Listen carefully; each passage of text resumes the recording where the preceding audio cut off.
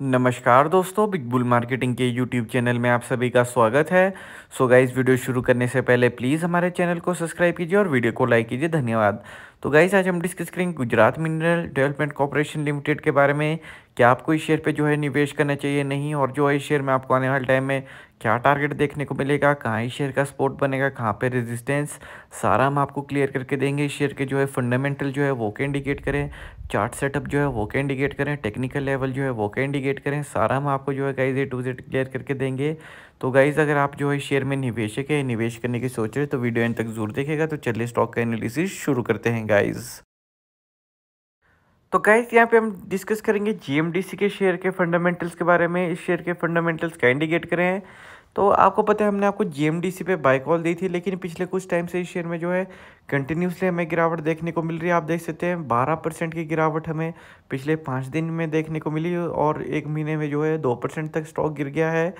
तो गाई सबसे बड़ा मेन कारण इसकी गिरावट का था जो आपको पता है, इसका क्वार्टर रिज़ल्ट आया, वो काफ़ी ज़्यादा डिसअपॉइंटिंग रिज़ल्ट आया। तकरीबन फिफ्टी परसेंट का उसमें जो है हमें डेंट देखने को मिला इसके अर्निंग्स में और जिसकी वजह से आप देख सकते हो, उसका इतना नेगेटिव इम्पैक्ट पड़ा कि पाँच दिन के अंदर स्टॉक जो है बारह परसेंट तक जो है क्रैश हो गया। पी रेशो कंपनी की जो है, ठीक है गाइज़ कंपनी का स्टॉक जो है ओवर वैल्यूड जोन में नहीं है।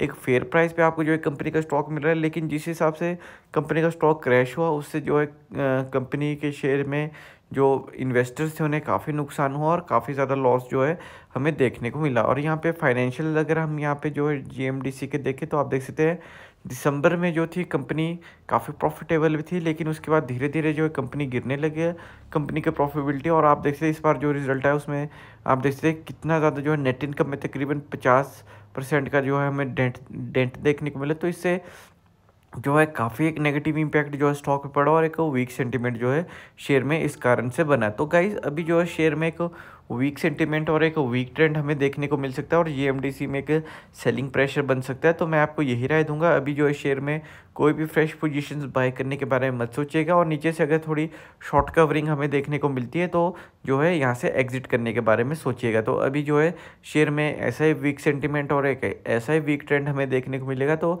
अभी के लिए जो है जी जी जो है एक सेल कॉल रहेगी। इस शेयर में बाइंग मत कीजिए और शॉर्ट कवरिंग जैसे ही आए तो यहाँ से जो है अपनी पोजीशंस काटने के बारे में सोचिएगा।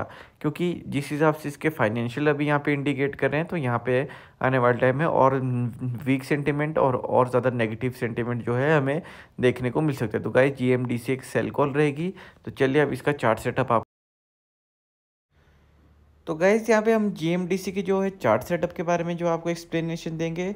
तो ट्रेंड तो गाइज़ काफ़ी बढ़िया ट्रेंड यहाँ पे आप देख सकते हैं बन रहा था और जो मंथली चार्ट फ्रेम है वहाँ पे तो काफ़ी एक बड़ा हमें जो था ब्रेकआउट देखने को मिला था। लेकिन उसके बाद आप देख सकते हैं जब क्वार्टर रिज़ल्ट जो है कंपनी का अनाउंस हो उसके बाद जो सेलिंग आई अपर लेवल से तो उससे जो है शेयर खुद को संभाल नहीं पाया और एक तरफा जो है नेगेटिव ट्रेंड हमें स्टॉक में देखने को मिला। तो मैं आपको यही राय दूँगा और मेरी आपको यही सलाह रहेगी गाइज़ अगर आप जो है जीएमडीसी में जो है अभी पोजीशंस होल्ड करके बैठे हैं तो आप लोग जो है कहीं भी यहाँ पे अगर शॉर्ट कवरिंग हमें थोड़ी सी भी देखने को मिली तो एग्जिट करने के बारे में सोचिएगा। और जो है कोई भी फ्रेश पोजीशन जो है इस शेयर में बनाने के बारे में मत सोचिएगा। अगर यहाँ से लेवल टूटते तो 260 तक जो है स्टॉक क्रैश हो सकता है। तो अभी जो है, अगर आप जीएमडीसी पे बायर हैं तो थोड़ा सोच समझ के अपनी पोजीशंस बना के बैठेगा यहाँ पे जो है स्ट्रिक्टली अपना स्टॉप लॉस फॉलो करके चलिएगा, क्योंकि आने वाले टाइम में यहाँ पे काफ़ी ज़्यादा एक वीक सेंटीमेंट और एक वीक ट्रेंड हमें देखने को मिल सकता है और काफ़ी ज़्यादा सेलिंग जो हमें जीएमडीसी में देखने को मिल सकती है। तो मैं आपको यही सलाह दूँगा गाइज़ और मेरी आपको यही राय देगी जी एक सेल कॉल रहेगी। इस शेयर में अभी आप बाय मत कीजिए। जो क्वार्टर रिज़ल्ट इनका अनाउंस हुआ है, उसकी वजह से शेयर पे काफ़ी ज़्यादा नेगेटिव प्रेशर और एक नेगेटिव सेंटीमेंट बना है और एक नेगेटिव ट्रेंड इसकी वजह से हमें शेयर में देखने को मिल सकता है। तो गैस जी से एक सेल कॉल रहेगी। कोई भी फ्रेश पोजिशन जो है इस शेयर में बनाने के बारे में मत सोचिएगा। तो गाइज़ अभी के लिए शेयर को अवॉइड कीजिए और कोई भी शॉर्ट कवरिंग आए तो अपनी पोजीशंस को एग्जिट कीजिए। तो गाइज़ ऐसे और वीडियो देखने के लिए चैनल को सब्सक्राइब कीजिए। धन्यवाद।